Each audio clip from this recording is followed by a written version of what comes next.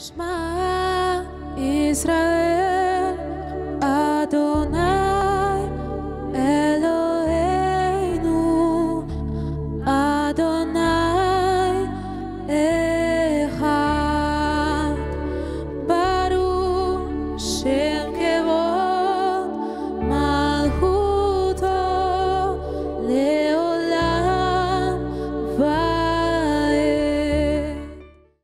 Шалом, дорогие друзья! Добро пожаловать в наш онлайн. Мы благодарны Богу за это время, время, которое можем собраться вместе, славить, благодарить Его, воспевать Его святое имя. И для тех, кто не способен был говорить и э, видеть нас, может быть, в э, собрании, вы можете нас слышать в прямом эфире. Мы благодарны Богу за вас. Мы молимся за то, чтобы Бог сделал чудеса и знамения и коснулся нас всех в этом эфире. Я благодарен Богу. В связи с э, введенными повторными мерами э, предосторожности в Украине, когда количество заболеваемых за последний месяц выросло почти в три раза, знаете, многие люди весьма беспечны и наивны к окружающим нам потрясениям.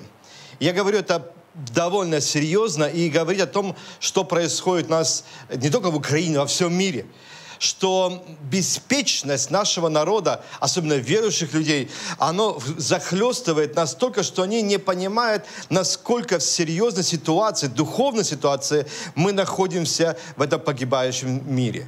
На фоне прогрессирующей меди- медицины, знаете, когда мы доверяем очень меди- э, вообще исследованиям, нашим профессорам, медицине, вот мир попал в ступор в это время пандемии.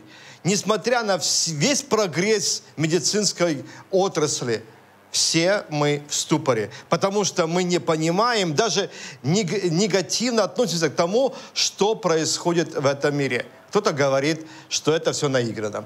Кто-то переживает. Потому, почему переживает? Потому что ам, последнее время многие верующие люди пережили, проболели, перешли вот этот, об- э, это- эту, э, эту проблему. Они были э, заражены COVID-19 и теперь с ужасом просят знакомых соблюдать все меры осторожности. И я их поддерживаю. Вы скажете, Рэбе, вы что, неверующие? Я верующий. В чем я их поддерживаю? Я поддерживаю их в том, чтобы соблюдать меры осторожности. Меры осторожности э, не только в интернете, просматривать, что происходит, а меры осторожности своего разума, своего духа и смотреть внимательно в священное писание о тому, что оно говорит нам. Например, Марка, 13 глава, 8 стих. «Ибо восстанет народ на народ, царство на царство, и будет землетрясение по местам, будут глады и землет- э, э, смятение. Это начало болезни». Вы скажете, Рэбе, мы все проходили. И я согласен. И с каждым, может, годом или десятилетиями, может быть, столетиями, что-то особенное происходило, и каждый ссылался на это местописание.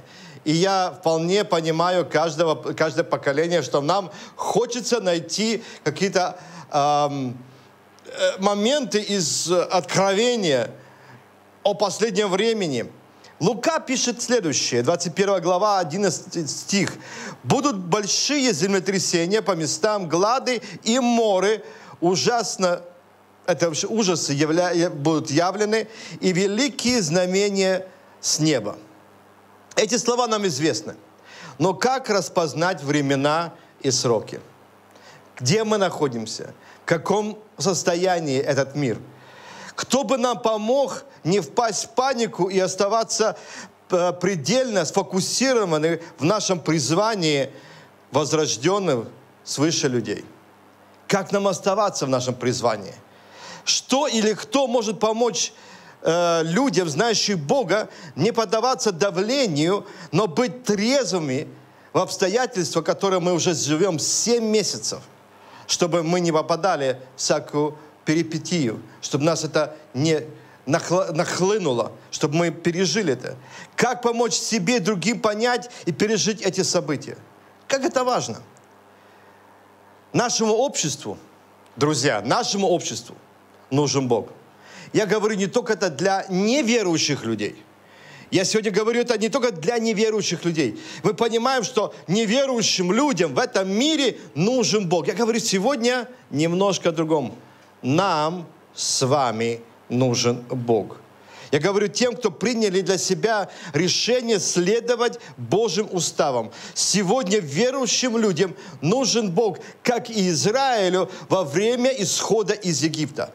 Бог, Он вывел Израиль из Египта, и потом Он был сопроводителем, Он вел их в пустыне к обетованной земле. Хотя это уже было 40 лет пути. Я сегодня говорю так же. Говорю о том, что мы сегодня не вышли и как бы исходим из Египта, идем по пустыне в обетованную землю.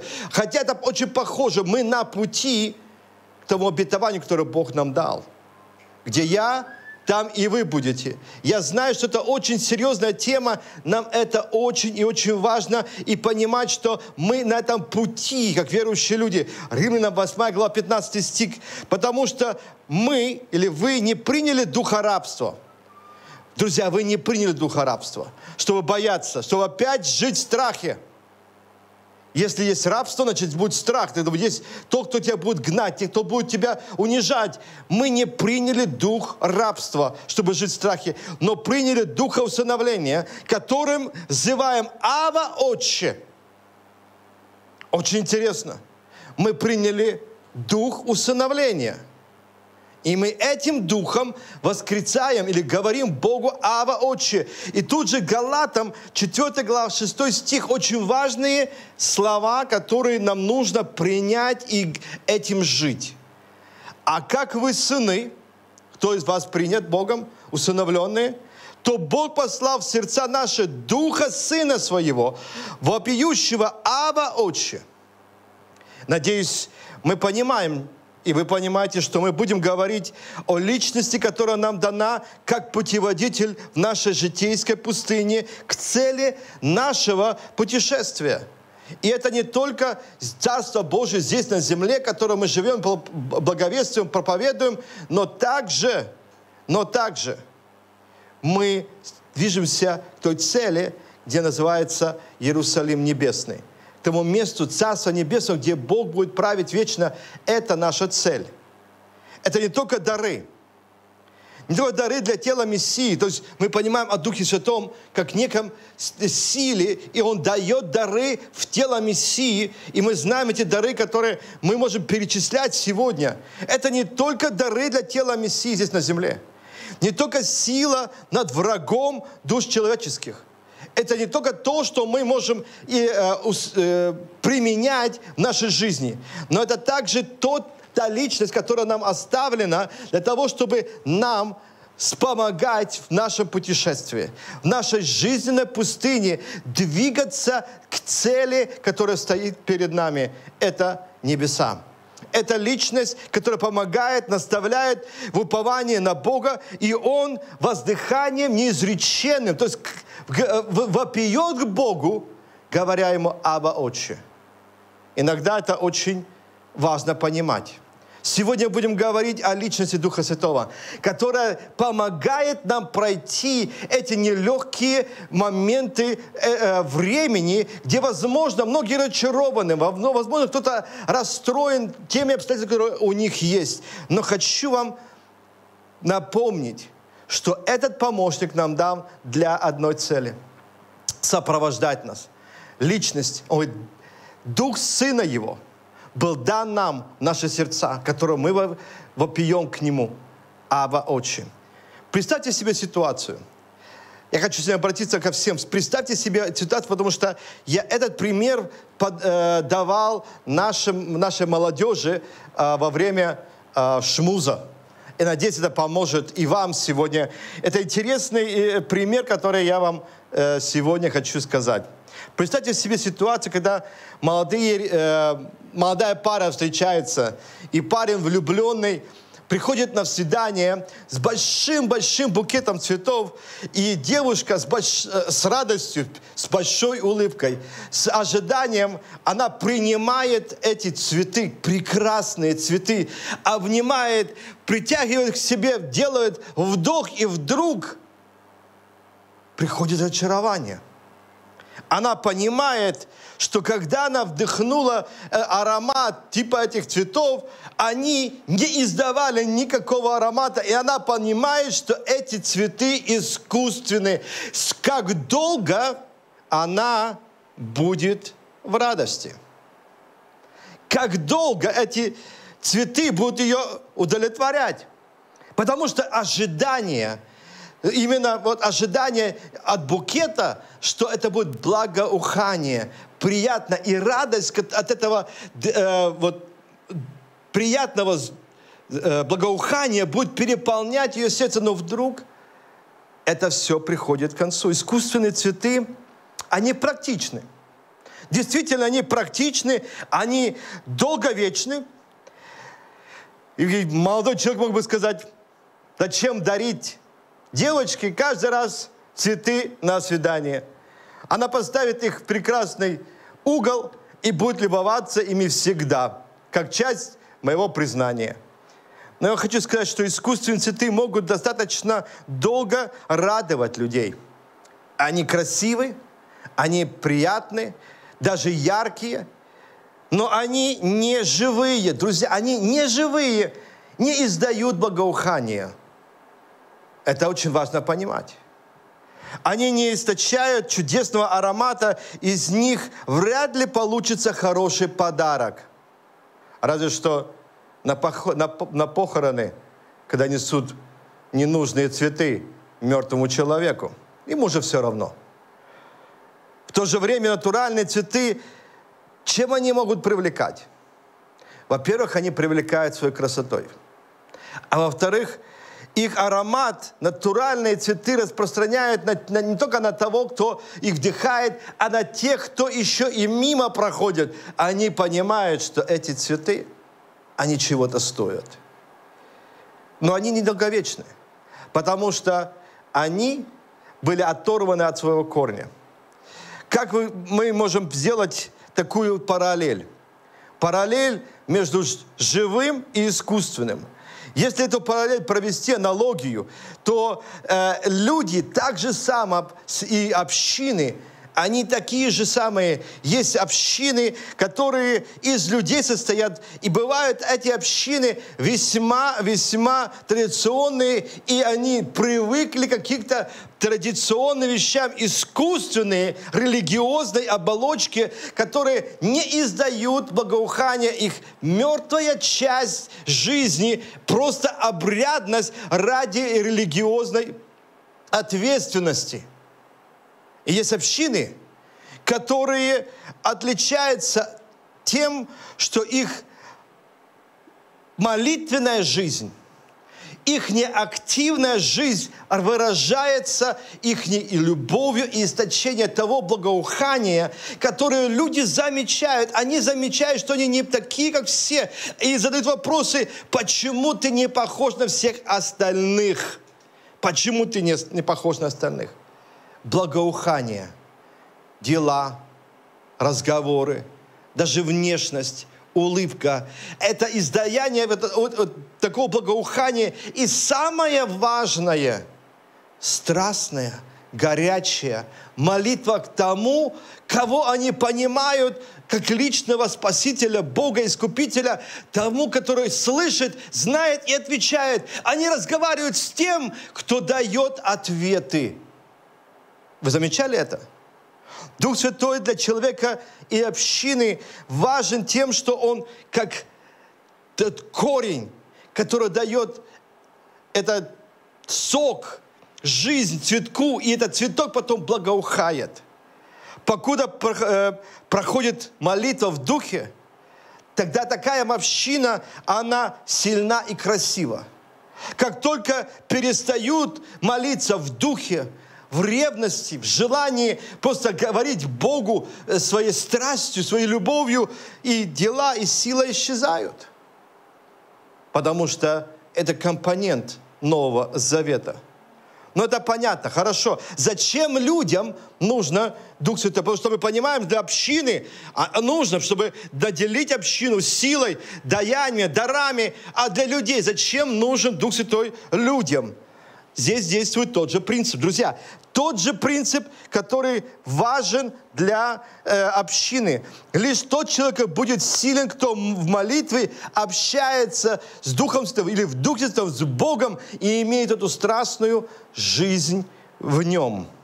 Иоанна, Йоханан пишет слова Иешуа как некое э, ну, указание, как э, заповедь, заповедь, которая очень важна для э, человека. Он говорит, если любите меня, есть принцип, если ты любишь меня, соблюдите мои заповеди, и я умолю Отца, и даст вам другого утешителя, да пребудет с вами вовек Духа истины, которого мир не может принять, потому что не видит Его и не знает Его, а вы знаете Его, ибо Он с вами пребывает и вас будет. Не оставлю вас сиротами, приду к вам. Очень-очень важная, очень важная тема. Мир не может понять сущность Духа Святого. Он его не видит и не знает его. Ишо говорит, а вы знаете, потому что Он рядом с вами, и Он будет у вас. И говорит, я не оставлю вас сиротами. Это означает, что возьмется, или возьмется от Него, как я зачитывал, взято было от Него, и дано было нам, чтобы мы были Его детьми. Тут состоит, стоит добавить одну важную тему, которая э, для верующего человека очень и очень важна. В 15 главе, 4-5 стихе, Ишуа говорит одну э, важную э, часть жизни э, верующего, рожденного свыше человека, которую мы применяем в, э, в, в, в причастии, или мы говорим о воспоминании. «Прибудьте во мне». Ишуа говорит, «прибудьте». Не просто, если вы сможете он говорит, прибудьте. То есть де, делайте все возможное, чтобы прибыть. Вот так всосаться, да, вот прибыть в нем. И, э, и я тогда буду вас. Как ветвь не может приносить плода само собою, если не будет на лозе, так и вы не будете, если не будете во мне. Я есть лоза, а вы ветви. Кто пребывает во мне, и я в нем, тот приносит много плода, ибо без меня не можете делать ничего. Кто при... не прибудет во мне, извергнется вон, как ветвь, и засохнет. А такие ветви собирают и бросают в огонь, и они сгорают. Пожалуйста, это не путайте это как бы с вещами, как бы что-то уже ад – Хорошо? Это просто как часть, что есть наказание, или же они сами себя э, уже э, приговорили, так не хотели быть на лозе. Если прибудете во мне, и слова мои в вас прибудут, то чего не пожелаете, просите, и будет вам тем прославится Отец мой, если вы принесете много плода и будете моими учениками. Принесете много плода. А многие говорят о том, чтобы благовествовать, евангелизировать, в снопы нести, это плод вот принести. Здесь говорится о внутреннем э, решении, о внутреннем плоде того, не только покаяния, а жизни, чтобы принести этот плод смирения, благос, э, благосостояния нашей души, э, помощи людям быть как Иешуа. В чем же состоит задача Духа Святого? Не только дары, как я уже говорил, о, Дух Святой дает дары по своему изволению для того, чтобы Евангелие проповедовало, чтобы знамение э, именно Евангелия, она сопровождала его общину, для того, чтобы община возрастала и была э, вот такой здравой, чтобы это была полнота. Но в чем же суть и задача Духа Святого? Как во времена Иешуа задача Духа Святого состоит в следующем – помогать людям при прохождении житейских трудностей, наставлять их в различных вопросах, ободрить, утешить в их печалях. И говорите, подождите, подождите. Но самая важная часть, что сила Духа Святого сошла, и были чудеса и знамения. Это сопровождение Евангелия. Но если вы живете повседневной жизнью, то мы имеем приключения, мы имеем ситуации по жизни, где нам необходима мудрость, Нам необходим совет. Нам необходима сила просто даже встать и пойти, когда не хочется это пойти. Поэтому Дух Святой нам дан как утешитель, чтобы подвинуть нас, потянуть нас и напомнить нам, как нужно жить. Стоит отметить, что Дух Святой никогда не, не вломится, не ворвется в твою жизнь и будет требовать от тебя каких-то э, послушаний, твердых каких-то решений. Он будет как тот, та притча, все стою у двери и стучу. Если ты услышишь его стук, откроет. Он говорит, и войду, и вечерю с ним сотворю. Ишуа, он на небесах, он, его послание, его, его, его часть, его здесь нас, Дух Сына Его, Он внутри нас, Дух Святой, Он здесь, чтобы стучать в наши сердца и направить нас. Дух Святой никогда не будет преломлять человека без его желания. Он может просить, он может стучать, но если ты не откроешь, если ты не захочешь, ты не сможешь пойти дальше. Даже когда Дух Святой бездействует, когда нам кажется, Он не бездействует, Он в ожидании человеческого «да». Я согласен, я буду это делать. Он делает это во благо человеку, побуждая тем самым человека прийти к Богу. Поэтому я говорю, что нам нужен Бог. Я хочу вам указать на ту личность. Лучше этой личности нет. Лучший друг здесь на земле есть тот Дух Святой, который дан нам от Бога. В нем и о нем говорил Ишуа, пребывая на земле. Это и есть то необычное ощущение, переживание, о котором говорили пророки. И пророчески сбылось уже в новую эру, в эру, когда Иешуа был взят на небеса, и Дух Святой сошел в день Пятидесятницы. И Иоиля 2 глава 28 стих. «И будет После того и залью от Духа Моего на всякую плоть, и будут пророчествовать сыны ваши, дочери ваши, старцы ваши будут сниться сны, юноши ваши будут видеть видения, а также на рабов и на рабы эти дни залью от Духа Моего. Это не только пророческое состояние, когда ты можешь пророчествовать человеку или говорить какие-то вещи. Это то состояние, когда мы переживаем Его присутствие и наслаждаемся Его силой и уверенностью, что Бог с нами, и что бы со мной ни происходило, я знаю, что я в Его руках.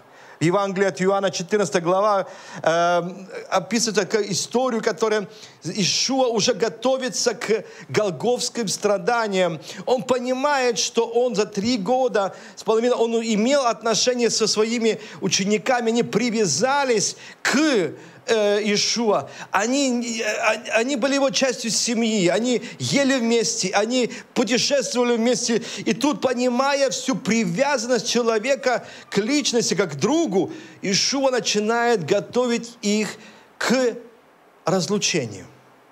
И он говорит такие слова. «Да не смущается сердце ваше. Веруйте в Бога и в меня веруйте». Веруйте в Бога и в меня веруйте. Потому что в этих ситуациях, которые он предвидел, что можно не только потерять друга, а можно потерять веру в Бога. И так и люди иногда у, они теряют веру в Бога, потому что они смотрели на того, кто, на кого они больше всего уповали. Ишуа говорит, вы верьте Бога, и в меня верьте. Но здесь слово «смущаться», тревожьтесь, не, не, не возмущайтесь, не э, приходите в смятение или замешательство. Не нужно, друзья, не нужно тревожиться. Вся жизнь впереди. Надейся на Бога и сам не плашай. На Ишуа верься, верься в него, его руки. Понимая сложность человеческое э, э, взаимоотношение, переживание Ишуа готовит своих учеников – к вот это раз, э, разлучению. Но тут Ишуа еще говорит следующее. Утешитель же, Дух Святой, которого пошлет Отец во имя Мое, научит вас всему и напомнит вам все, что я говорил вам. И очень важно, в 25 стих говорится, «Сие сказал вам, находясь с вами». Вы скажете, вот видите, это тогда было. А что же сейчас? Нам нужно верить тому, что Ишуа говорит, пока он находился на земле, он подготавливал учеников, чтобы они приняли утешителя. Этот учитель, или сказать, э, тот утешитель, расскажет вам, что произойдет в будущем. Другими словами, этот помощник. И именно вот так звучит вот в этом стихе э, утешитель. Это не просто, у- который гладит по головке и говорит, не плачь, не плачь, все будет хорошо. Он, наоборот, он тот, кто э, нас будет помогать нам. Он помощник, помощник в бедах наших. И написано, Бог нам помощник. Да? И вот эта часть Божьего естества была дана нам, чтобы мы были уверены в нашей позиции в Мессии. Этот помощник. В греческом переводе это параклетос, который очень близко. И вот конкретно а, о Духе Святом мы говорим о, о- о, разные впечатления, но в этом месте он звучит как помощник, ходатай, защитник, право, э, заступник, адвокат и утешитель. Все это в одном слове Дух или Святой, или же мы говорим помощник, утешитель. Мы понимаем, что и Танах, он подтверждает эти слова э, о том, что Руах, да, э, Элохим, именно Дух Божий, тоже является утешителем. Он тот, кто приносит комфорт, помощник и утешитель. Он всегда помогает нам, когда нам нужно подобрать слова. Да, да, я говорю правильно. Если ты не контролируешь свой язык, знай, что это не Дух Святой. И когда мы под контролем Духа Святого, Он дает нам правильные слова, что сказать, что говорить, когда говорить и, и сколько говорить, если мы находимся в Его присутствии. Если мы обращаемся к тому, кто помогает, тот, кто с нами ведет отношения. Мы переживали иногда такие чувства, вы переживали такие чувства. Вы разговариваете с человеком или другом, или родственником, вы общаетесь, и у него сложная ситуация, и вы не знаете, как э, по-человечески ему ответить. Вдруг какая-то приходит мысль, простая мысль. Вы делитесь с человеком, и он говорит, это точно, это то, что мне сейчас нужно. И через время он звонит вам, или вы встречаетесь, и он говорит, те слова, которые ты сказал, они мне помогли. Знаете, что это было? Это было совет Духа Святого, потому что по-человечески вы даже не понимали, что происходит, и вдруг мысль приходит, которая от Бога. Интересно, что Ишуа говорит, как Дух Святой будет помогать нам. Иоанна 16 глава, 8-10 стих. Я вам почитаю. Это очень это часто э, его путают или же, можно сказать, ам, интерпретируют немножко не так, как мы привыкли. Да? И мы, его по-другому говорят. У Иоанна 16 глава 8 стих. Он, Дух Святой, придя, обличит мир о грехе, о правде и суде. Три вещи, которые Дух Святой будет всегда обличать. То есть говорить, действовать. Он обличать будет во грехе, да, о правде и о суде.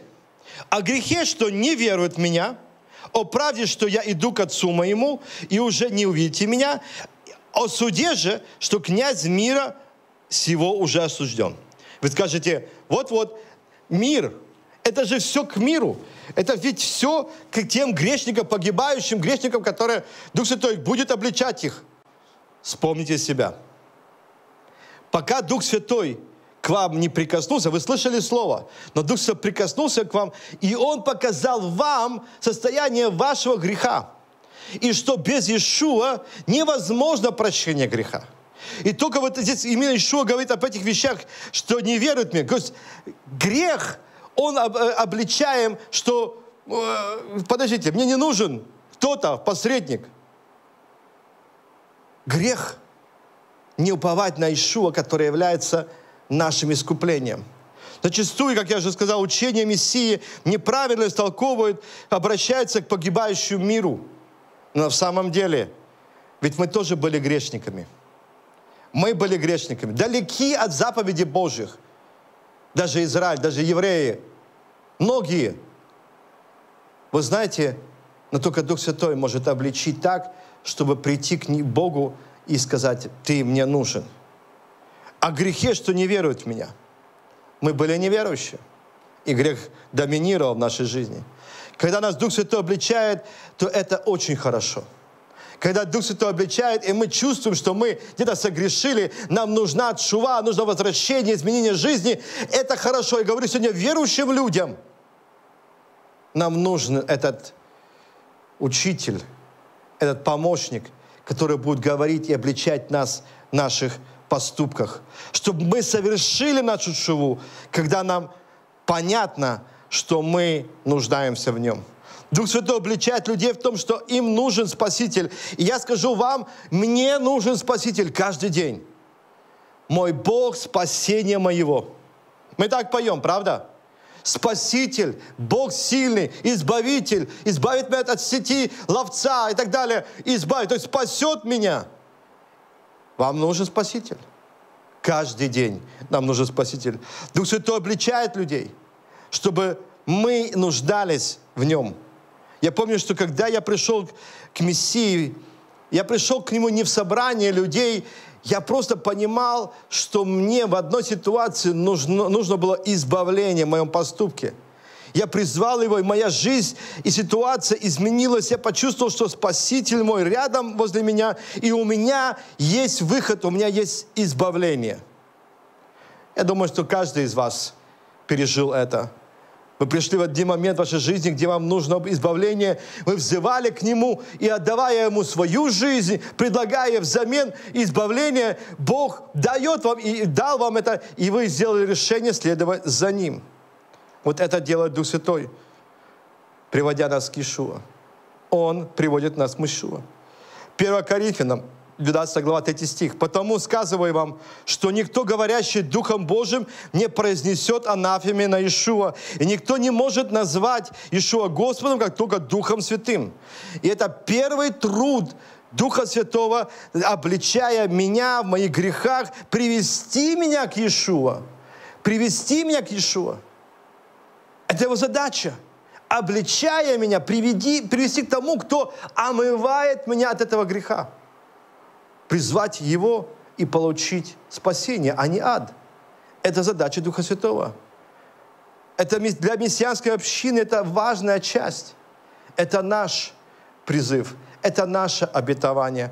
Мы просто хотим быть теми, о ком молился Ишов в Гессиманском саду. Те, кто принимает Тору как руководство для благочестивой жизни, быть погруженной в реальность Духа Святого, который постоянно с нами, не покидает и не, от, не отдаляет. Он постоянно с нами, чтобы с нами общаться, нас вести, наставлять, убеждать и спасать. Быть одним новым человеком Мессии, устраивать мир. Аминь. Скажите со мной аминь. Это очень важная часть общения для человека. Дух Святой дает нам силу. Я вам скажу так. Когда евреи приходят на молитву, они произносят молитвы, и потом, мы, как помните, говорили мы, э, о, о, о Божьем имени Шадай, да? Бог, который дает силы. И вот когда мы навязываем тфилин, мы говорим о том, что нашими силами мы не способны прожить в этом мире, потому что наша плоть, она немощна, а дух, он животворит. И нам нужен Бог. Если и иудеи, они наматывают этот филин вокруг себя, напоминая, что только в Боге можно усилиться, нам уже дан Дух Святой, чтобы мы имели силу подниматься каждое утро, славить, хвалить Его, продолжать свою жизнь благочестивую. Если нам нужно обличение, услышать обличение, покаяться и двигаться дальше –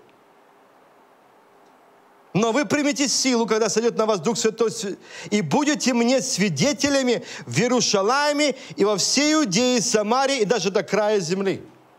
Сила не только засвидетельствовать о, о, о Мессии, благовестие. Сила, чтобы благовествовать им, э, людям своим примером, что ты измененный, ты новое творение в Мессии Ишуа, и Бог тебя сделал другим. Силы, чтобы двигаться, быть движенным э, переменам и не быть похожим на этот мир. У нас нет этой привилегии э, быть э, копиркой того мирского состояния, каким-то образом пытаться им угождать. Это еврейское послание сегодня. Еврейскому народу. Еврейский мессия, еврейское понятие силы, потому что по-человечески, человеческими силами, природными, мы не способны вынести все того, что мы переживаем. Я сегодня говорю к вам, верующим в Мессию людям, рожденным свыше – Сегодня в это время сложных перемен и трудностей, которые мы переживаем, возможно, не такими, как был это год назад, сегодня нам нужен Дух Святой, который бы нас направлял. Не просто делал знамения, чудеса, а нас направлял, как нам жить благочестивой жизнью, и чтобы Иешуа отражался внутри нас. Павел свидетельствует о том, что его надежда была, чтобы Мессия возвеличился в нем жизнью или смертью. Настолько нужно было верить Богу, чтобы Иешуа возвеличился. То есть Дух Святой возвеличился в его жизни. То ли он умрет, то ли он будет жить, но чтобы его жизнь была переполнена Иешуа Мессией. Он пишет такие слова, которые сегодня, наверное, касаются очень многих. Некоторые, правда, Филиппийцам 1 глава, 15 по 24 стих – по зависти или любопрению, а другие с добрым расположением проповедовать Мессию.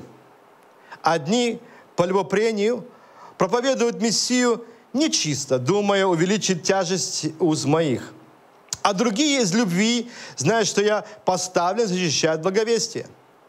Но что до того, как бы ни проповедовали Мессию притворно или искренне, я этому радуюсь и буду радоваться – ибо знаю, что это послужит мне во спасение по вашей молитве и содействию Духа Мессии Ишуа при уверенности, в надежде моей, что я ни в чем посрамлен не буду, но при всяком дерзновении и ныне, как и всегда, возвеличится Мессия в теле моем, жизнью ли то или смертью. Ибо для меня жизнь – Мессия, Христос, да, а смерть – приобретение. Друзья, жизнь – это Машиях.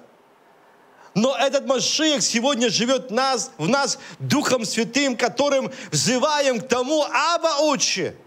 И послушайте, в Гефсимании Ишуа говорит, Аба, если возможно. И этот же Дух сегодня внутри нас говорит, Аба, если возможно. Не моя пускай будет воля, но Твоя. Дай мне услышать, Руах, дай мне услышать Твой голос. Обличи меня, тормозни меня, помоги мне дальше двигаться. Это очень важно. Если же жизнь во плоти доставляет плод моему делу, то не знаю, что избрать. Влечет меня и то, и другое. Имею желание разрешиться и быть с Мессией, потому что это несправедливо лучше. Несравненно лучше, извините а остаться во плоти нужнее для вас. Другими словами, каждый может так сказать. Папа может сказать своим детям, я уже, я уже бы готов быть с Мессией, но э, для вас лучше, чтобы я еще жил. И жена, и муж, и дети, и, и родители, так можно сказать, потому что мы нуждаемся в друг друге. У Святого Духа есть миссия, как у Ишуа от Отца.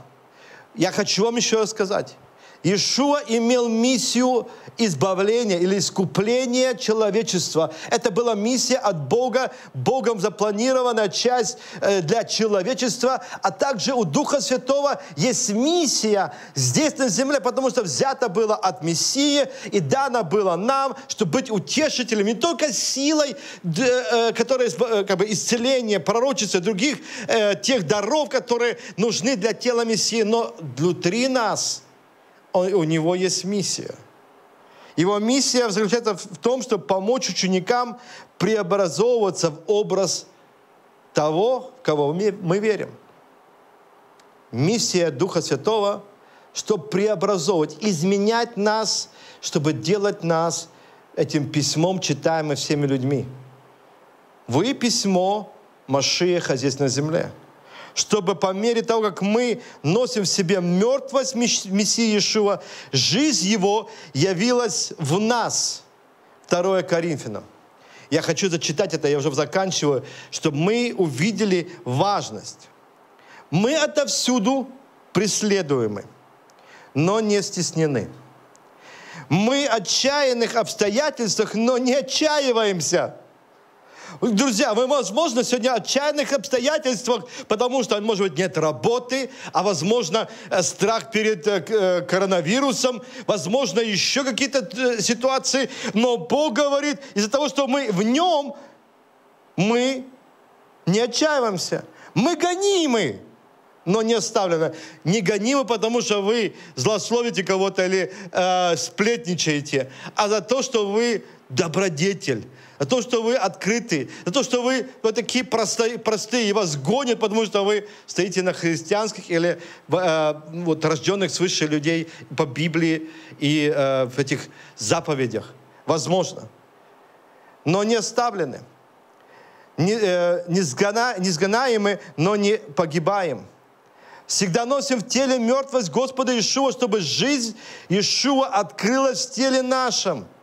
Ибо мы, живые, непрестанно предаемся на смерть ради Мессии, чтобы в жизнь Иешуа открылась смертной плоти нашей.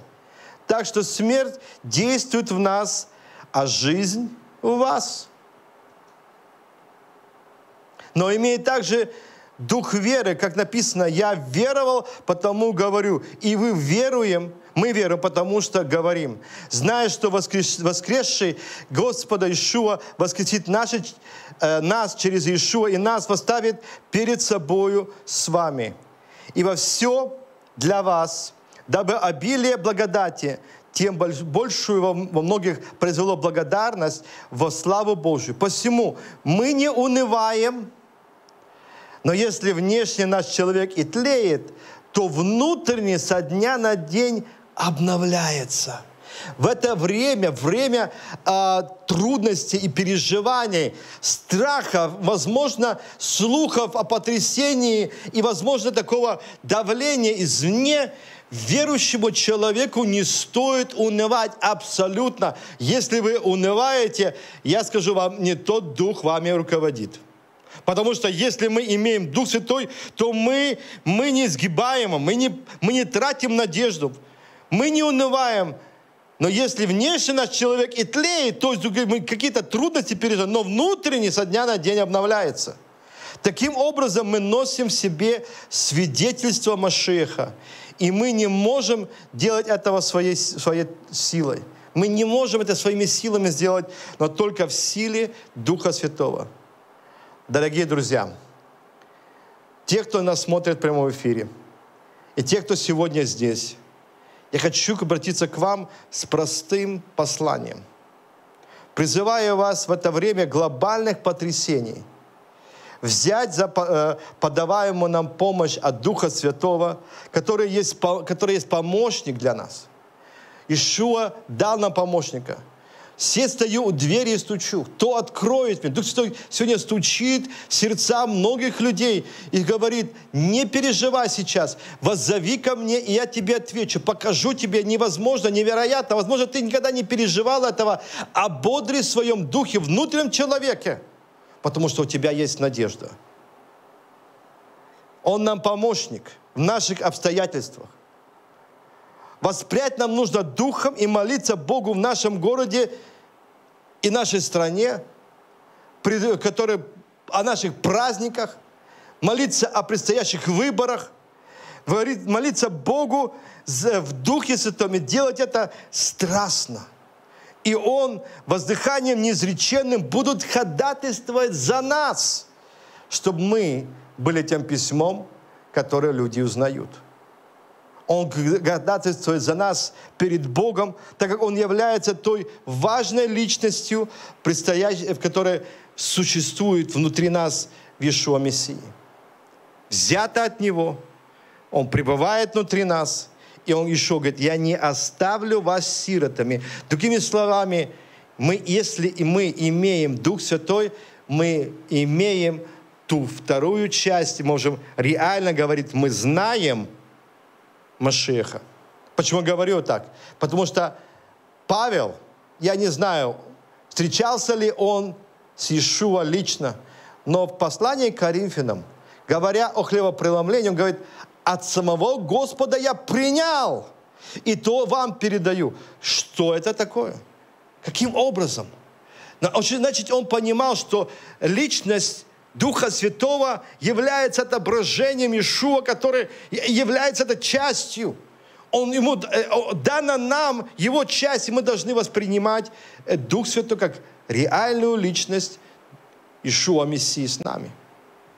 Хотя Он ходатайствует перед Богом в небесах, я хочу сказать нам всем, если мы прибудем в Нем, в этом Духе Святом и не станем пренебрегать Его помощью, тогда придет всякое, пройдет всякое уныние. Пройдет страх, депрессия, болезни, оставят нас, потому что мы знаем, что у нас есть не только сила побеждать, но у нас есть тот ходатай, тот, кто направит нас, изменит и сделает для нас удивительное. Это обещание Бога для нас. Так прибудем в нем – питайтесь Его живительным соком. Не будьте этими цветами, которых сорвали от, от корней и через время увяли. Ишо говорит, прибудьте во мне. И каждый, кто прибудет в нем, приносит много плода, как ветви. Этот плод пускай пребывает в вечности. Этот плод очень важный. И Дух Святой – часть Ишуа Мессии, Он внутри нас. Он рядом с нами. Он тот, кто хочет говорить с нами. И мы тогда живем, когда мы понимаем, что эта личность для нас дана для подкрепления. Давайте сейчас мы помолимся, чтобы Дух Святой подкрепил каждого из нас. Подкрепил. Просто это важно в это время – и мы говорим, Аба, Отче, Ишуа, мы, мы знаем, что это очень важная часть нашей жизни. Мы обращаемся, Руах, Ты подкрепи каждого из нас, дай нам двигаться в Тебе, верни нам радость, уверенность и понимание движения нашей жизни, чтобы мы всегда знали, понимали – укоренены были и утверждены в том, что Ты нас никогда не оставлял, не оставишь и не будешь нас пренебрегать. Ты дал нам Руах, Дух Святой, который не просто есть сила э, даров, которая сопровождает Евангелие, но также Ты и с нами, чтобы нам напоминать, нас направлять, укреплять и даже смирять через э, того, что Ты нас э, обличаешь, чтобы мы пришли к Тебе. Ишуа, понимая, что Иш, Дух Святой – это часть нашего естества. И я благодарю Господь за каждого человека, который сегодня смотрит нас в прямом эфире. И я молюсь, чтобы исцеление от Господа пришло в вашу жизнь. С первой очередь, ваше сознание, что Бог, Он с вами рядом. Он с вами, чтобы поговорить. Обратитесь к Нему измените свою жизнь. И если Он обличает вас, не сопротивляйтесь, принесите достойный плод покаяния, чуву. И эта чува приведет к вас к свободе. А она нам сегодня очень важна. И пускай Бог благословит вас. Без Шува Машихейну. Амин. И я сейчас хочу пронести, произнести молитву Аарона, которая оставлена на страницах Танаха. И это очень и очень важная тема. Евхих Адонай, Ваишмареха, Ехер Адонай Панавелеха, Вихунеха, Иса Адонай Панавелеха, Весемлеха, Шалом, Бешем Шомашихейну. Амен.